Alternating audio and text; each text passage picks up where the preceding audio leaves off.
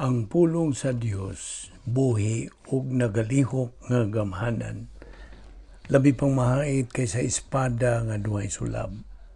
Ug mudulot ngadto sa gitagbuan sa kalag ug espiritu sa mga lutahan ug sa mga kauyukan ug mutugkad sa mga huna-huna ug katuyuan sa kasing-kasing. Ang tibuok nga kasulatan gipaginhawa sa Dios ug may kapuslanan alang sa pagpanudlo, alang sa pagpamadlong, alang sa pagpanulid, ug alang sa pagmatuto sa pagkamatarong aron ang tao sa Dios mamahingpit masinangkapan alang sa tanang maayong buluhaton. Sa di pa kita magasugod sa atong pagtuon sa pulong sa Dios sa mas nandan gikinahanglan ng atong pagsusi sa tagsa-tagsa nato kakalag kung na napabay mga sala nga nahibilin kay kini kung dili nato isugid ngadto sa tubangan sa Dios nga mahan kini mahimo lamang babag sa atong pagtuon sa pulong sa Dios busa ang balang Espiritu Santo dili makatudlo kanamo sa hustong paagi. Kay na may nagababag. Therefore atong gamiton karon ang prinsipyo sa 1 Juan 1.9 nga nagkanayon kung isugid ta ang atong mga sala siya ang Dios kasaligan og mga sa iyang saad nga mopasaylo gayud sa tanantang mga sala ug magahinlo sa tanantang mga kalapasan. Og alang kanimo dili pa magtutuo ang imong buhaton dili ang pagsugid sa imong mga sala kun dili ang imong pagpahiluna sa grasya pinagi sa imong pagtuo kang Ginoong Kristo ingon nga imong manluluwas. Busa sa hilom magampo ta agi pangandam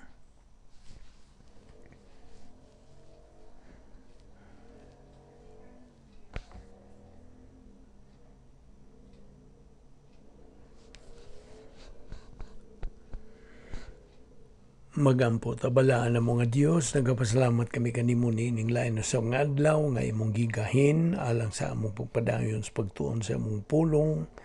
Naga pasalamat kami sa imong paghatag namo og dugang pagyuglugway sa among kinabuhi.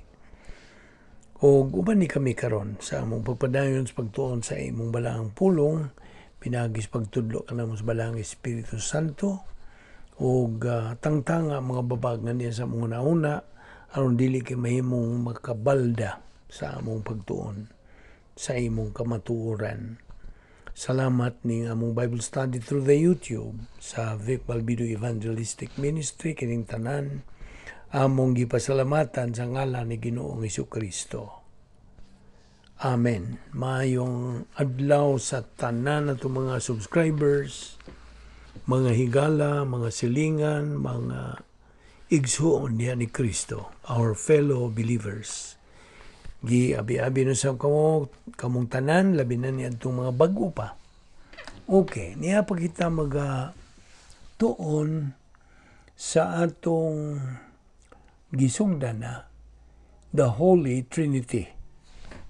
Ang balaang Trinidad. Okay? Now, niya naman kita maghisgot sa sunod nga kinaiya sa Dios. Okay, kinabuhing walay katapusan. Una sa tanan.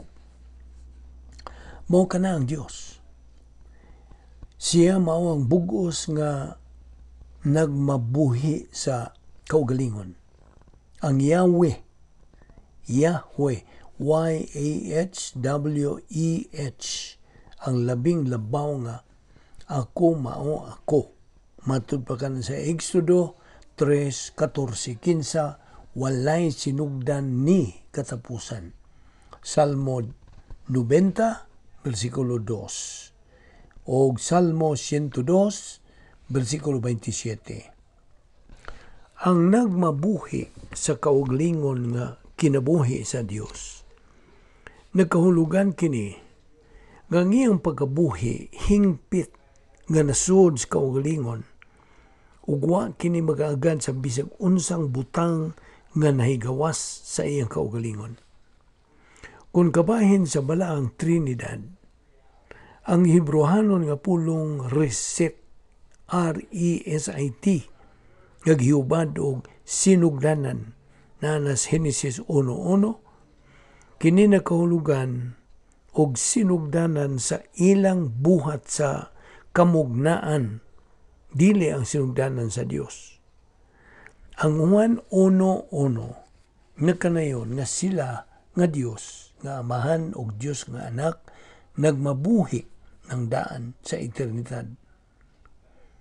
Uh, nagmabuhi silang daan sa eternidad. Una pa mudangat ang kabuhatan. Wala sila sinugdanan.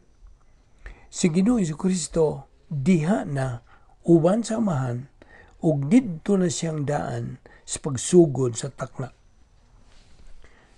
No diya sa Juan 1.1, sa sinugdan maong pulong, Hesus Kristo kini, ang Dios nga anak, ug ang pulong diha na uban sa Dios, ang amahan, ug ang pulong mao ang Dios. Now, gidugang ang italics ni Ana. Now, ang bagong tugon, the New Testament, nagapanghimatuod nga ang kinabuhing walay katapusan, diha uban sa amahan. Primero Juan 1.2, o kining maora gihapong kinabuhi diha uban sa iyang anak. Primero Juan 5.11 Si Kristo mao ang alpha ug ang omega diyan sa pinadayag 1.8. Ang pulong alpha sa sinugdanang letra sa Grigong alpabeto naghisgot kini sa pagkaana-ana ni Kristo kaniadtong wa pang tanan. Ang omega, ang katapusang letra sa Grigong alpabeto, may uh, kalabutan kang Hesus Kristo sa iyang pagpanag-iya uh, og duluha ka kiniya. Mo na gitawag sa English og hypostatic union atol sa iyang pagkahimugso ingon nga tao, incarnation o sa iyang una nga pag-ani siya mao ang dayo na nga anak sa Dios. O ang anak ni David, kinsa ingon nga Dios ug tao, mubalik ingon nga hari sa mga hari o ginoo sa mga ginoo sa iyang ikaduhang pag-anhi aron mao'y magahari hangtod sa kahangturan. Walay takna ang Dios, timan ini. Apan iyang gimugna ang takna sa tuyo sa pagpadagan sa kasaysayan sa tao. Kita uh, muhisgot sa pinulungan nga kaniadto karon og ugma sa hamubo o hataas nga gidugayon. Bahin sa katuigan bulan takna gutlo gutling. Apan gipahisama sa Dios ang atong kinabuhi sa usa ka alis ngao na na Santiago 4.14, aniya pa kita karon, apan ugma, wala na. Mao di ay nakatuwaw si David sa pag-ingon unsa ba ang tao nga giyatagan mo man siya bili. Salmo 8.4 Apan, bisan pa niya na, ang usa ka dayo na og mahigugmaong Dios nagaamuma pinagis pagsangkap sa malagayaong tanyag aron nga kita makaambit sa kinabuhing walay katapusan. Now, ang mutuo sa anak may kinabuhing dayon. Apan ang dili mutuo sa anak, dili makawaton sa kinabuhing dayon, hinunua, magpabilin diya kaniya ang kapungot sa Dios. Juan 3.36 Karon, Atong tukbilon kining laino sa mga kinaiya sa Dios ang pagkasayod sa Dios sa tanan. Mo ni sa in English o omniscient. Okay. Nasayod ang Dios sa tanan. Ang pinulungang Ingles nga omniscience gikuha kini sa agikan sa pinulungang Latin nga omni nga nagahulugan og tanan ug ang siyensya pagkasayod. Ang Dios nga dayon diha sa tulo ka persona kanunay nasayod sa tanang butang lakip na sa aktwal ug sa posible nga milabay na ang karon ug ang umaabot pang mga panghitabo. Sa wala pa buhata ang kalibutan, nasayod na ang Dios sa matag suliran, matag kagulanan, matag gutlo sa imong kinabuhi, lakip na sa matag sala nga imo pang pagabuhaton. Bisan tuod ko ng iyang pagkasayod sa tanan mo labaw sa panahon o sa eternidad, ang iyang pagkasayod sa mga panghitabo sa dili pagani kini mahitabo, wa kini mulapas o mupugong sa imong kaugalingong kabubuton. Agig paagi sa Dios o sa ikaw kagawas nung binuhat nga makahimo sa pagpili. Muambit ka ba o mosalikway ka ba sa grasya sa Dios? Ikaw may tulubagon ngadto sa Dios niya ng imong tanan nga mga desisyon o mga binuhatan. Roma 14.12 ang tanan nga tulo sakop sa balang Trinidad, nasayod sa tanan. Ang amahan may hingpit nga kaalam. Job 37.16, cross-reference Mateo 6.8, Mateo 10.29-30, mga buhat 1.24. Ang anak, nasayod sa tanang butang. Juan 18.4, cross-reference Mateo 9.4, Juan 2.25. O ang Espiritu Santo, gitawag og espiritu sa kaalam og pagsabot, pagmando og kahibalo. Isiyas 11.2 Now, karon adto tas lain usab nga kinaiya sa Dios ang pagkaana sa Dios sa talang dapit sa in English pa omnipresent now ang Dios nagmabuhi lapas pas mga kinutuban sa kawanangan. Tiunay ug labaw ang kinaiyahan sa Dios. Ang pagkatiunay o immanence sa in English, nagkahulugan kini nga ang iyang tibuok nga kinaiya ana diha sa kanunay bisa sa madiha ba sa kinaiyahan sa kasaysayan sa tanan bang mga kalihukan sa kaliwatan sa katawan. Jeremias 23, 23 24, mga buhat ni 7, 27 28. Karon ang pagkalabaw sa kinaiyahan sa Dios o transcendence nagkahulugan kini nga siya may kaugalingnan gikan binuhat nga universo aron sa ingon niya na walay pinalaing dapit ang nagalukop lamang kaniya. Salmo 113, 5 6, Isiya 55, 8 9, Juan 8.23. Ang pagkatiunay o immanence o ang pagkalabaw sa kinaiyahan o transcendence ana nga nagkabagay sa pagkaagi nga nalukop ang tibuok yuta sa iyang himaya. Isiya 6.3 Ang tibuok niyang pagkasiya ana sa matag suok sa universo. Samtang sa samang higayon siya balaan og labing gamhanan lapas pa sa kapunaw-punawan sa universo.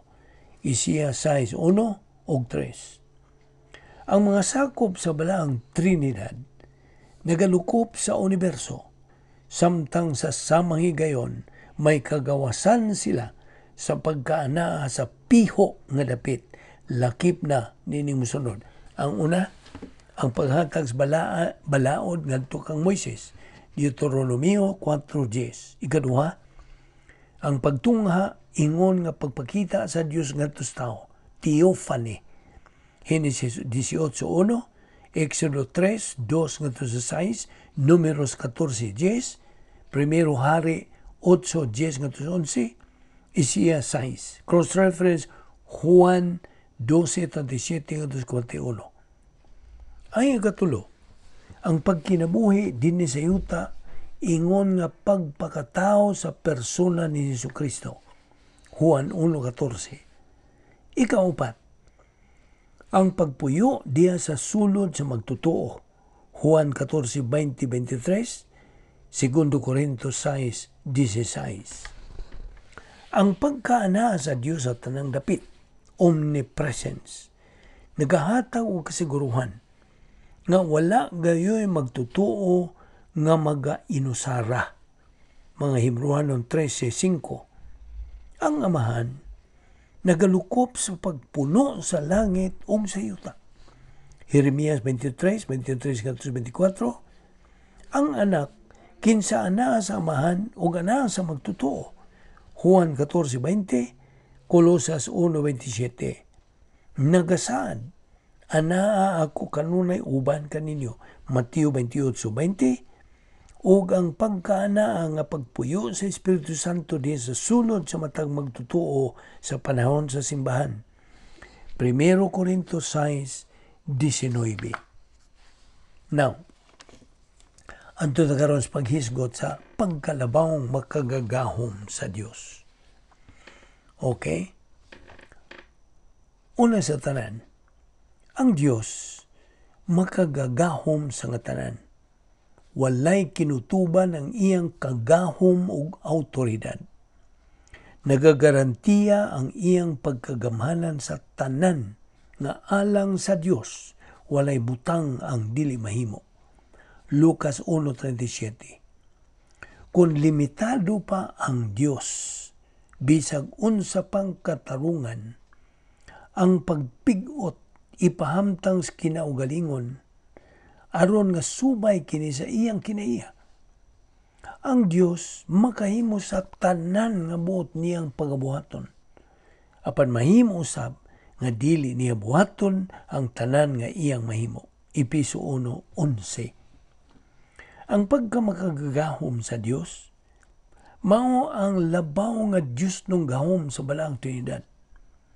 Ang amahan gitawag og gamhanang Dios Hob 11.7 ug ang iyang gahom walay katapusan Roma 1.20 Ang gahom sa anak mao mibuhat sa universo ug nagagunit kininiini nga maoy nagapalahutay sa dagan sa kasaysayan. Isiyas 40.26, cross-reference Colosas 1, 16 17, Hebrewanon 1.3.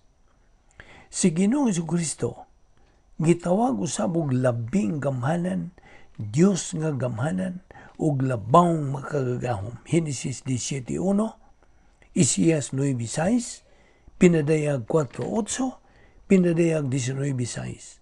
Og sa iyang espiritualong pagkabalaan, gipadayag siya nga anak sa Dios uban sa dakong gahom pinagi sa iyang pagkabanhaw Roma 1.4 Ang Espiritu Santo nagasangkap sa Diyos nung gahom ngadtos mga magtutuo aron sila makatuman sa plano sa amahan. Zacarias 4.6, mga buhat 1.8, Roma 15.19. Atol sa iyang pagpakatao, si Ginoong Kristo milimiti sa kinaugalingong paggamit sa iyang pagkadiyos. Aron siya mupahiuyon sa inistrikto ngadto sa plano sa Dios Juan 5:17 Juan 6:65 Juan 8:28 ug Pilipos 2 6 ug aron iyang magamit ang gahom sa Espiritu Santo Isias 42:1 Mateo 4:1 Lucas 4:18 19 Juan 3.34 Ang iyang tuyo, mao ang pagpanghimatuod ngadto sa mga magtutuo sa panahon sa simbahan, church age, nga ang pagsalig sa plano sa amahan ug sa gahom sa Espiritu Santo maoy kinahanglan aron sa pagkat-on, pag-isip ug paggamit sa doktrina sa Biblia ingon man ang pagtuman sa Kristohanong pagkinabuhi ato ning hunungon una ug ato ni ipadayon. So, gidapit gihapon kamo sa pagpakiguban aron kamo maka po po sa daghan nga mga pagtulunan bahin nining atong gitulan ang balaang Trinidad. Magampo ta. Balaan na mo nga Dios nagapasalamat kami kanimo nining matamis nga higayon sa imong pagpakiguban kanamo pinagi sa balaang Espiritu Santo. Salamat, grasya kining among gipahimuslan, dada kami pagbalik ugma dinhi aron kami makapadayon sa pagpakaon sa among kalag sa imong mga pulong. Salamat ni among Bible study through the YouTube. Kining tanan among gipasalamatan sa ngalan ni Ginoong Kristo. Amen.